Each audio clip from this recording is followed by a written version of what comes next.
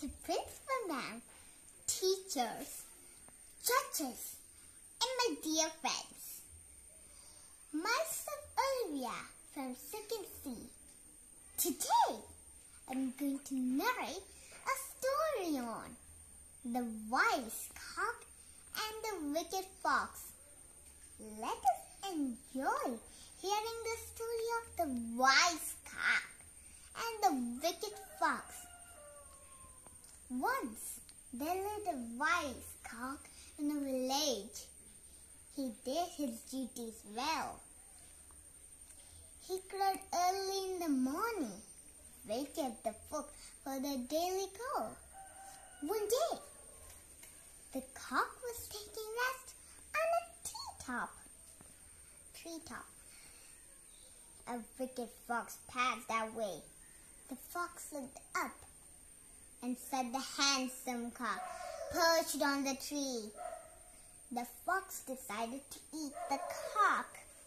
So, he said in a sweet voice as possible, Hello, dear cock.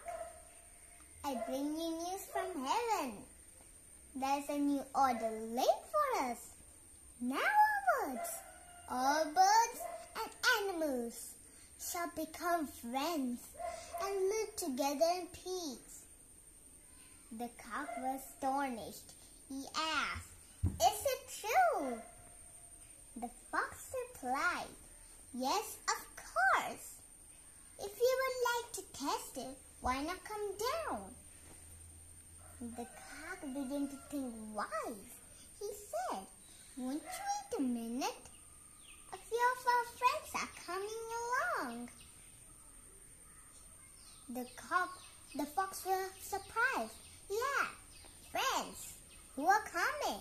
What do you mean? The cock answered, I can see some hounds coming. Let us wait for them. Hearing the word hounds, the fox got annoyed. He started running away.